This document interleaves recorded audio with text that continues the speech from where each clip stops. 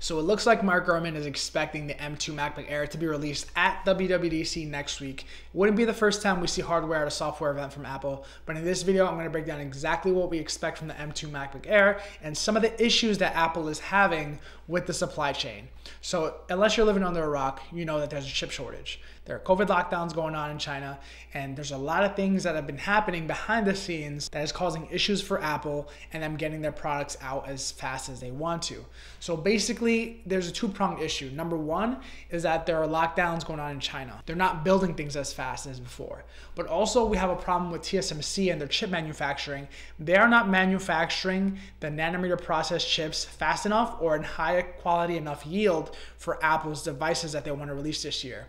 Like I said, said earlier in the year, Apple's going to release the most products, the most hardware they have ever. And to do it in a time where the pandemic has caused issues in terms of staffing and the factories getting up and working again, it's going to be tough for Apple to actually meet their delivery deadlines. So I'm expecting the MacBook Air to be released closer to the end of the year.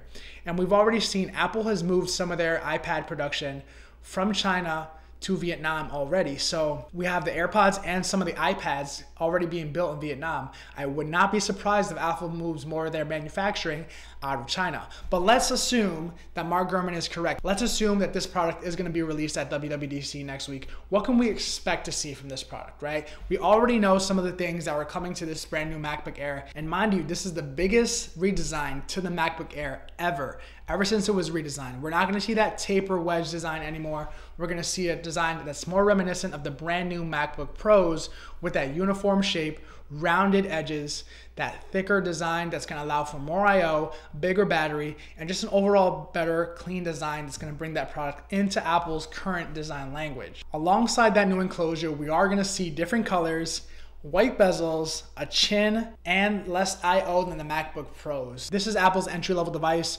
Most likely it's going to stick around that $1,000 price tag, but with inflation, with supply chain issues, with the price of everything going up, expect this device not to start at 999, but start at maybe 1199 or 1299. As for the chip that's going to be powering this device, the M2 chip is expected to launch with this device, also with the M2 Mac Mini. But because TSMC is having issues producing the process that Apple wanted originally for this device, device, don't expect a big speed jump from the M1 silicon. Think of this as like an M1.5 or an M1 version 2. They're going to call it M2, but it's not going to be as great as it possibly could have been had we not had these chip issues. So let me know in the comments what you guys think about this device if you're excited, and make sure to subscribe so you don't miss out on my future content.